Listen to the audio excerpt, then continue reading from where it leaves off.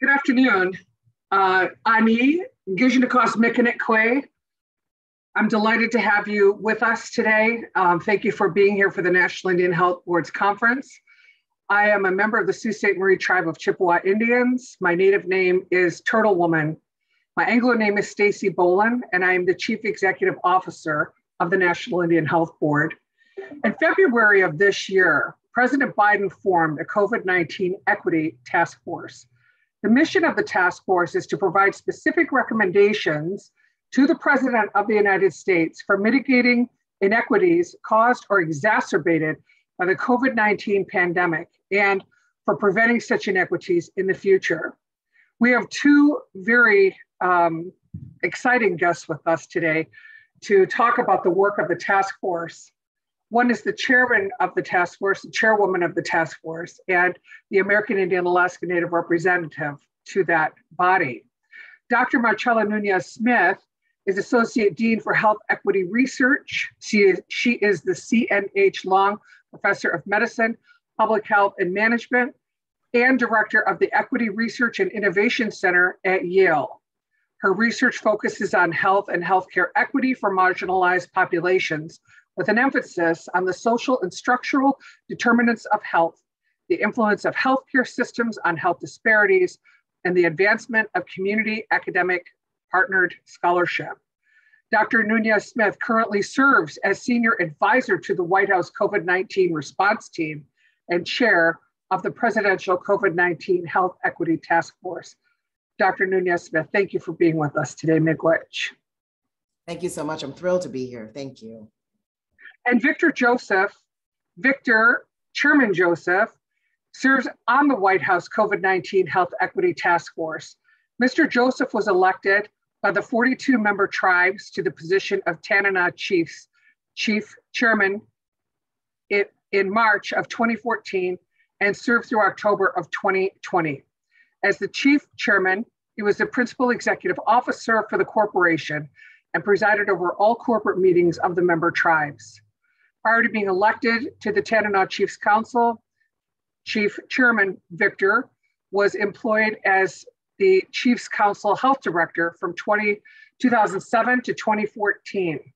He has been working in this area in leadership positions for over 28 years. He is also serving as the Alaska representative on the U.S. Department of Health and Human Services Secretary's Tribal Advisory Committee and on the Indian Health Service Budget Formulation Committee. Chairman Joseph is a tribal member of the native village of Tanana he has extensive experience building strong working relationships with tribal leaders, colleagues, staff, funding agencies, and corporate beneficiaries. And he is the American Indian Alaska Native representative to this esteemed panel about health equities and achieving equity through COVID 19.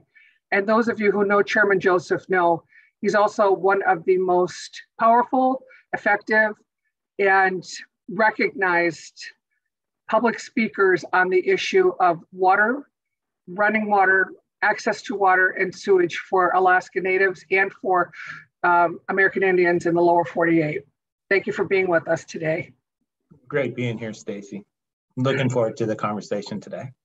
So I'm looking forward to the conversation today too. The two of you have served on this panel together for almost a year now. And um, I look forward to asking questions, but also to just seeing the interplay of the work you've done together and what might be what you might be inspired to discuss with us today. So first for Dr. Nunez Smith, you were appointed to lead the task force to address one of the most immediate and critical needs in this country. When you were asked to do this, what were your aspirations for what this task force, this task force could achieve? Wow, yeah, that's a that's a great question. Um, and you know, before I even turn to, to that, I do want to just take a, a, moment to say how grateful I am for Mr. Joseph, who um, I just am so lucky to work with in this space. I mean, you know, I I um I leaned in as you did that introduction because I was like, oh my goodness, how fortunate, what a gift, right? To have all of that expertise and wisdom. And I was waiting for you to say, and he's just a really wonderful, nice human being because he is. And I'm just so grateful because even in the shaping of the aspiration and what it could be and the work, like I have sought counsel um, from Mr. Joseph, and he is patient with the time differences, right? To hear and understand and say, how can we set our work in a way that will be difference making, that will be transformative for all of us? And, you know, I think that's where I would start is saying the vision with the tap it's we work it is shared um, and it is shared among us. I mean it is an incredible group of people. I um, you know i have to pause to think if i've ever been in a group that has been so united and committed to mission um, tireless passionate right? I mean just deep deep uh, change making but in the most kind of collaborative way. And so, you know, the, the president was very clear to us with the charge. Um, this was something that he signed into being his first full day in office, an executive order creating this task force. Uh, the national strategy for fighting COVID, um, goal six, is was really all about equity and advancing health equity in COVID 19. Um, and so, even doing the transition, that was a top priority for you know the president and vice president elect to make sure that we were going to be centering on equity in the work.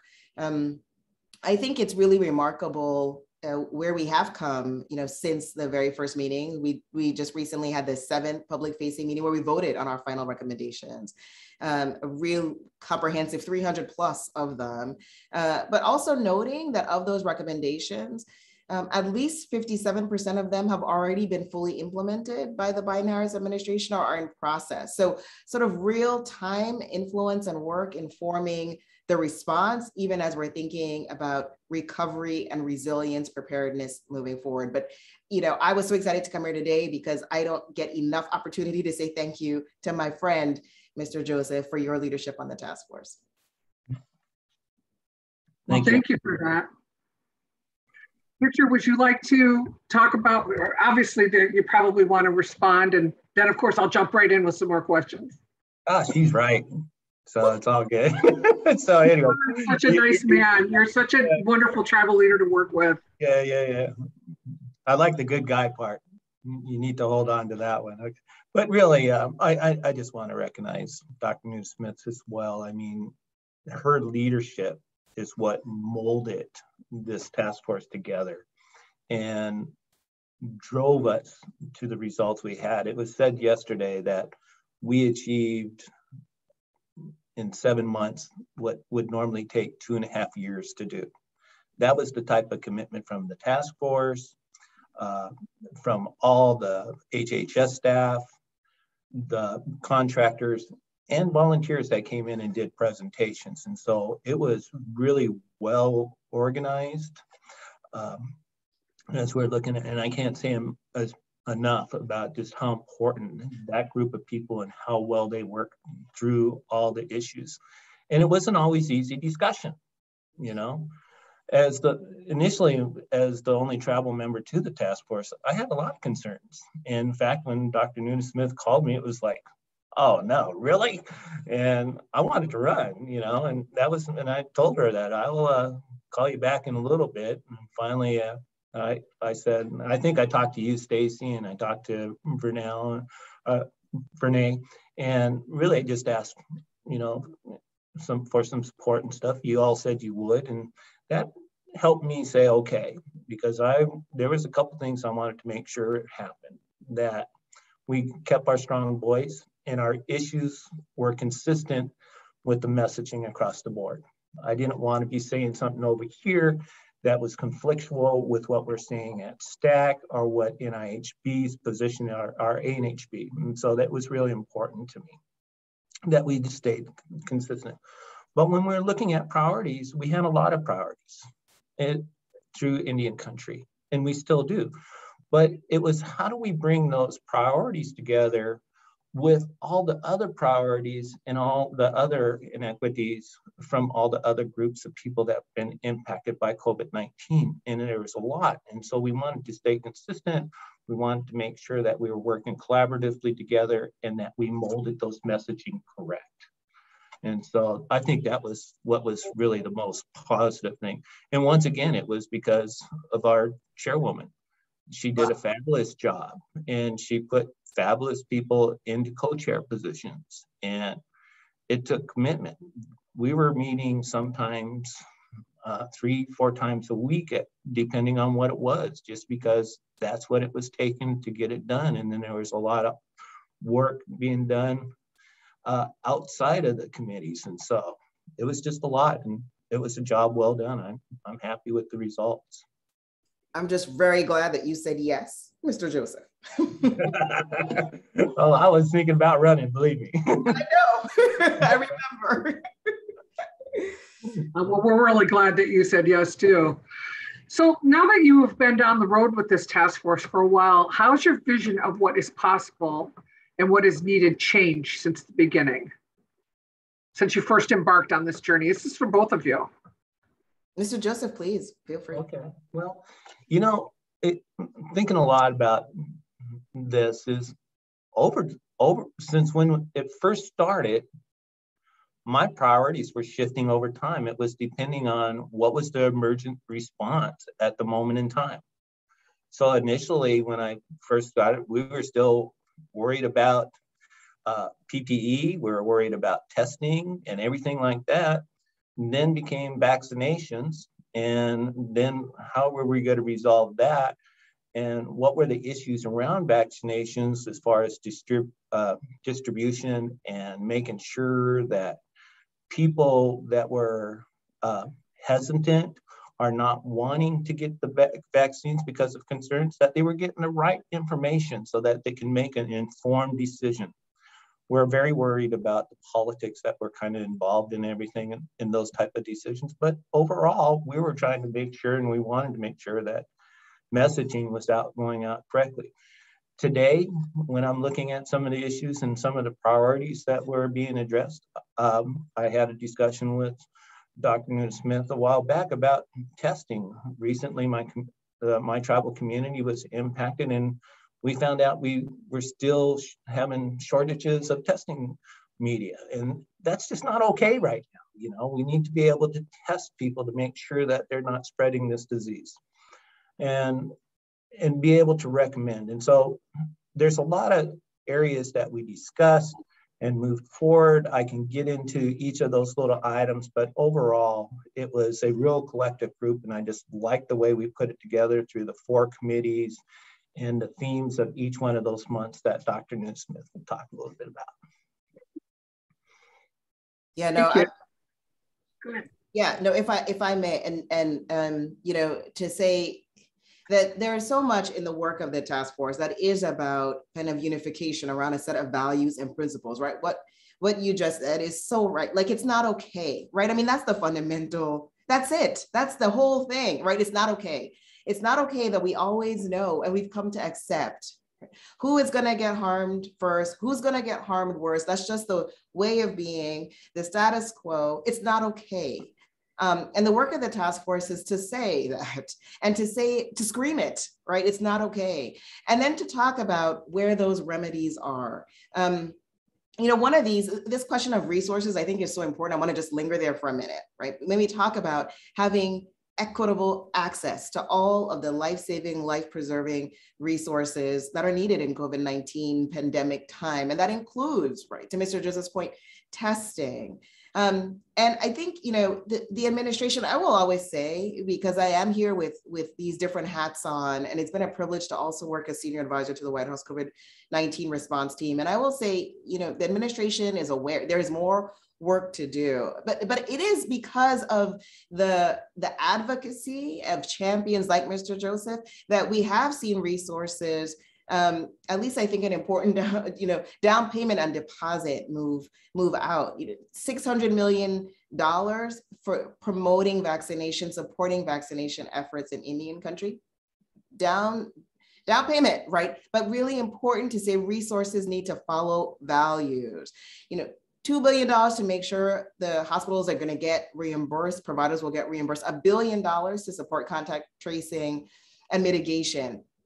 I think important, right? Because we have to be accountable, right, for where the resources go and that we are being responsive. And I think that is the work of the task force accountability, right? And so once we say it's not okay, then we have to say, how do we hold the administration, but actually the government at every level and the whole of society, private sector, philanthropy, and others, how do we hold accountability for advancing on health equity? And so I think as important as you know where we've landed as a task force with where our top priorities are and where our recommendations are, I think is saying there is going to be accountability at the end of the day. Like, are we actually making a difference? And Mr. Joseph said that in that first phone call, right? He does not have the time to show up to spaces to just talk, right? It has to lead to action. And that's why I know I was particularly encouraged to see that 57% number for where we are. But obviously, again, more work to do. Thank you for that. Um, did you want to follow up with that on that, Victor? Or?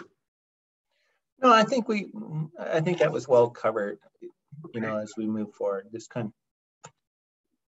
So this next question uh, is very much at the heart of what we are working to overcome in Indian country and in other communities, obviously. But for this space, it's American Indian Alaska Natives. So both of you, a question to consider. Understanding and healing historical trauma is at the heart of efforts to achieve health equity in the COVID 19 space for Native peoples. This may play out most profoundly in behavioral health and substance misuse. Has a task force and the administration examined these issues through this lens? Please, Dr. Oh, absolutely. I'm happy, happy to, to start. You know, um, as Mr. Joseph said, we we each month in our public facing meeting took a deeper dive in a topic we thought was just critical, imperative for us to focus on. And so, you know, one of our very early sprints was around behavioral health. Um, and importantly, right, an understanding that it that encompasses kind of a wide spectrum of mental health conditions and also importantly, you know, substance use disorder. And we've seen a tragic rise in terms of um, the, the, rates of substance use disorder and all the, the negative sequelae, including um, loss of life that can follow. Uh, and that sprint, as with everyone, every single one of those sprints, you know, Mr. Joseph was centered very much on, you know, communities that are often invisible, right? AIAN communities often not visible often even in data systems, not visible in policy conversations and understanding, you know, of course, those spaces where we are, you know, shared in the in the in the way that problems land in our communities and shared in the way that it impacts us, but also where there is unique consideration. Um, and I think every time reminding us, Mr. Joseph, about funding promises um, that have not been realized and kept, right? And how critical that's going to be. Again, the flow of resources needed to address these issues and additional, in addition to the cultural responsiveness that we need to do, the tailoring and the targeting to get to every single community. So let me just add that to the list of things. I'm very grateful uh, to Mr. Joseph for, for bringing that perspective um, in, in, a, in an unapologetic way every time. Thank you, Doctor. You know, Stacy, I, we all know what historical trauma has done to our people as they go through uh, just a tremendous amount of uh, grief over the several years since for a long time. I, I think about yesterday and what Canada was trying to do, you know, in recognizing all the children and survivors of residential schools, creating a national day of, uh, for truth and reconciliation of the Native people, taking the first step as a nation saying, hey, something went wrong, we did wrong here.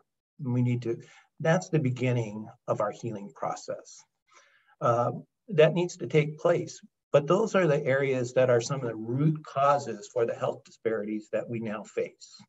And when we look at behavior health and substance abuse disorders, those are right in line with what we have experienced as people. And there isn't one Native person, American Indian, Alaska Native, that hasn't been impacted by the residential or boarding schools. We all have. I've been, and and that was through my grandmother. And in fact, I was thinking this morning about this. The only time I ever seen my grandmother cry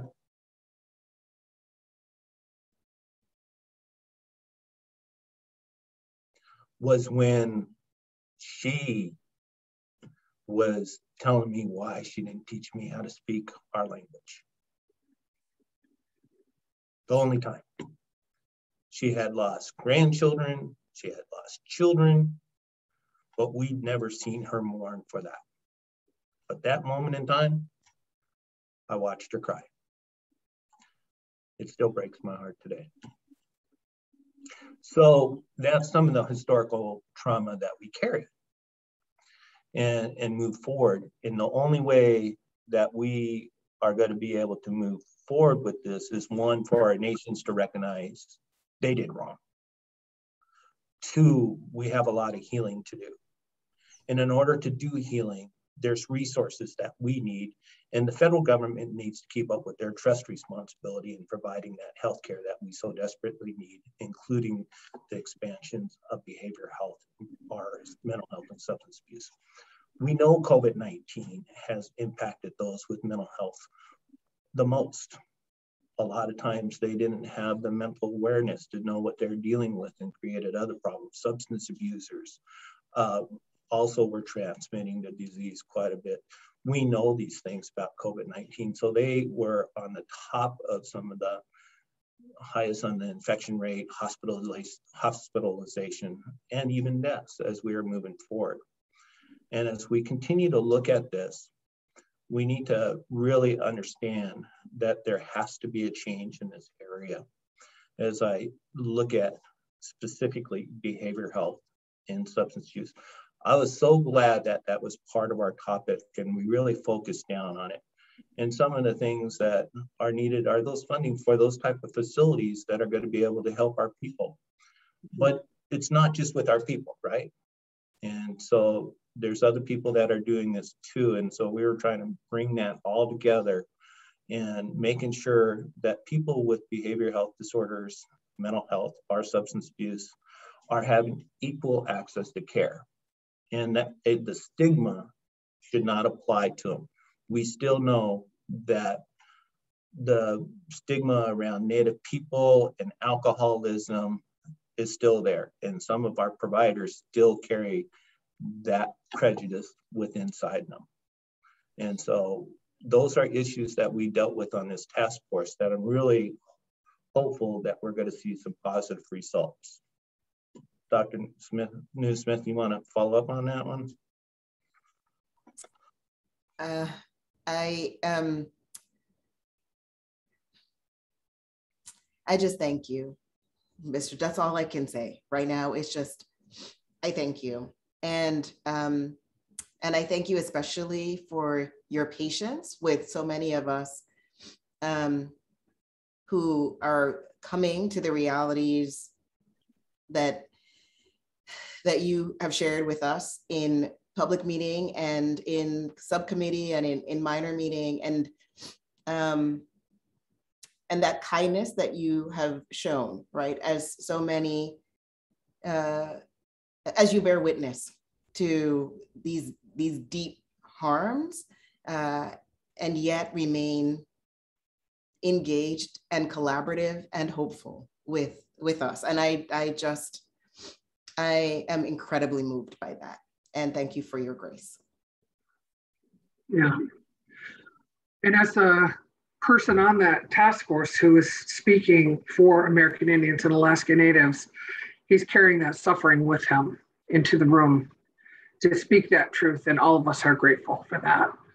Our Native concepts of healing and health rely on tradition, culture, language, and when you have a 100 year investment to erase that, we have a long way to go toward healing. So we're grateful that the task force is cognizant of it, picked it up, and uh, we look forward to seeing those recommendations at the end of the month. I'm going to move on to a different topic right now. We have about five minutes left. And right now, folks are very concerned about um, vaccinations and uh, for tribes, we've led the nation in getting vaccinations out to our communities, including non tribal community members. My own tribe was very, very good at that. I went to my tribe to receive my vaccination. I couldn't get access to it here. I live in the DC area.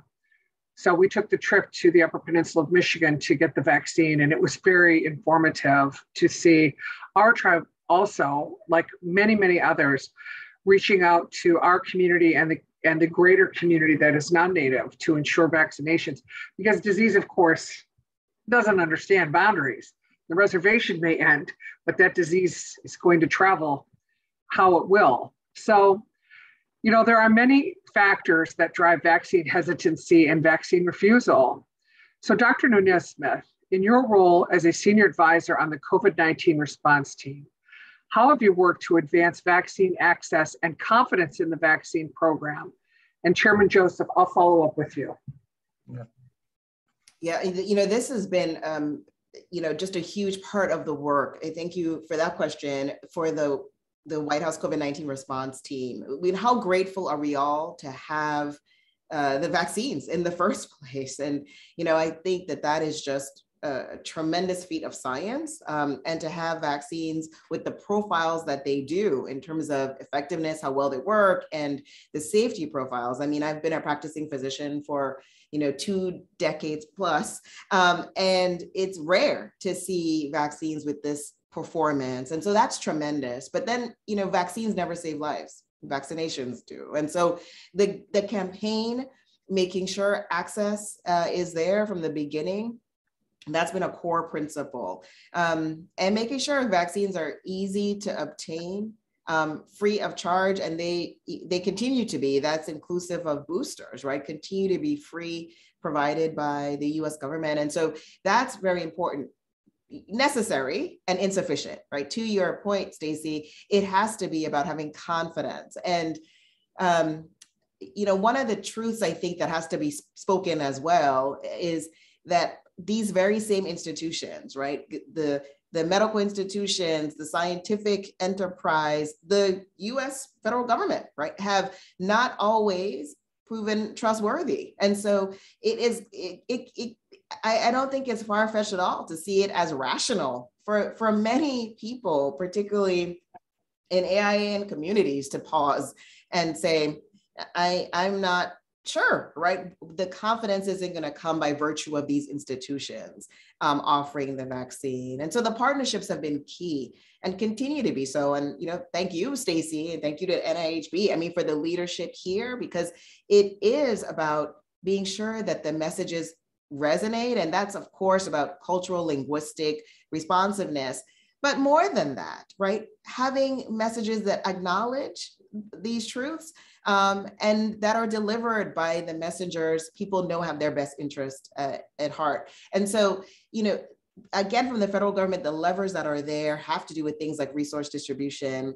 Um, and we've leaned into that, but also in resource flow to support those people who have always been there, who've always been in community and not showing up now, um, and not showing up singing one song, right? Because people have many needs that we were just talking about. So to show up saying, I am here in the face of you know, dire poverty, or I'm here in the face of community violence, or I'm here in the in the face of, you know, lack of running water. But what I'm trying to make the top priority now is a vaccine, right? I mean, so being able to really meet people where they are um, has been the work and continues to be the work. I mean, we were very grateful in the transition to have for the, the expertise of so many, but including, you know, Dr. Jim from Navajo Nation to help us think through the early phases of the strategy in terms of a vaccination campaign and outreach and engagement um, and continuing on that. So, you know, it, I, I think it's wonderful to have seen the vaccine and vaccination uptakes really leading the way and modeling for the rest of the country. How you do that? How do you think about prioritization, reaching out to elders, first, you know, preserving wisdom, everything, just a great model for us moving forward. Awesome, great. You know, we at the National Indian Health Board also, we have a campaign called Act of Love. It's our effort to depoliticize um, things like wearing a mask and getting a vaccine because we believe they are acts of love, acts of love to our family, to ourselves, to our community, and in the simplest of terms, in the lowest common denominator of what that truth of a vaccination is, of wearing a mask, washing your hands, they're acts of love. So, um, Victor, Chairman Joseph, do you want to follow up? When we, excuse me, when we look at vaccinations, and you know, when we look at it through Indian country, when we start thinking about the distribution of the vaccines and how they were being received, there were some hiccups there, but overall it went out pretty good, and people were getting uh, their vaccines. Our rural communities, our tribal communities, specifically our tribal communities, had a higher rate of vaccination rates than um, maybe the urban settings. And and that was kind of concerning. And when I, and, talking with Ed yesterday, and, and over the last couple days regarding vaccinations, because we had some concerns here, and I'll share with you in a minute why, was, uh, you know, overall throughout the nation and with American Indian and Alaska Natives, there's about a 50% population of um, Native people that are vaccinated. But that also means there's 50% of Native people not vaccinated. And, and that should be really concerning to us.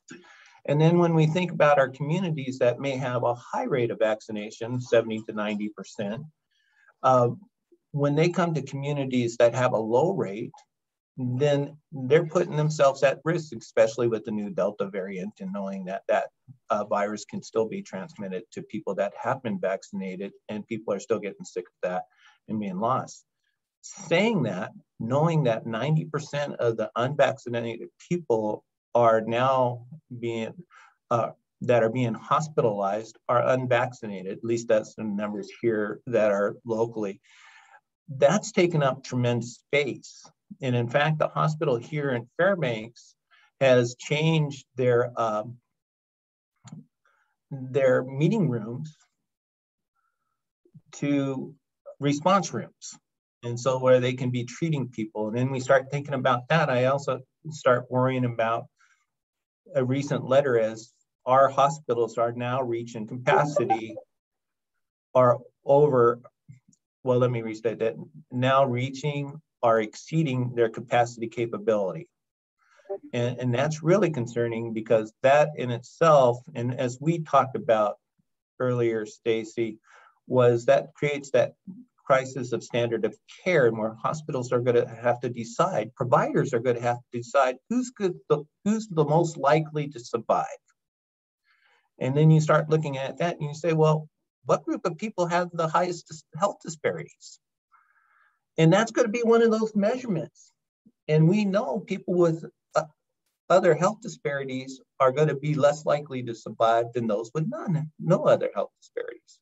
And so our tribal people have a high rate of health disparities, and they're going to be impacted by this uh, policy change. And we need to be making sure that we are not impacted negatively on that. So I wanted to get into that a little bit, and, and because that's really concerning. Two of our hospitals and, and, and nationwide, people are starting to look at, hey, we might have to incorporate this policy in our communities and if that does, it's going to impact people, and more people are more likely going to be passing. And so, of this virus. So, I, I wanted to share that, and I'll stop there. Thank you. Thank you for that. And Chairman Joseph, that was the last word. So that you have the last, word. word in this in this esteemed so much more. Conversation. You get the last word, but we are all looking forward to this report. We're all very, very grateful for the work both of you are doing and have done. And thank you so much for your generosity of sharing your time with us today. It means a lot to those who are registered for this conference and whoever will see this will be uplifted by it, I am sure. Thank you, Miigwech. Thank you so much. Have a wonderful afternoon. One thing, Dr. Nunez Smith, it's been a pleasure. And it is. not getting rid of me. So, yeah. All right. Yeah. Thank you, everybody. Thank you.